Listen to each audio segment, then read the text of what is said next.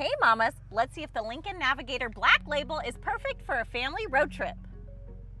On your way, you'll enjoy a leather wrap steering wheel, digital gauge cluster, head-up display, a 13.2-inch touchscreen with Apple CarPlay and Android Auto. You also have a 360-degree camera, so you don't scrape that boat you're towing. This baby can tow up to 8,700 pounds. Mama gets 30-way power adjusting seats that are heated, ventilated, and massaging.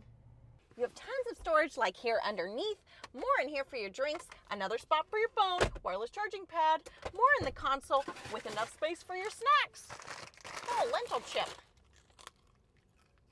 Plus more storage down here and in here for your passengers.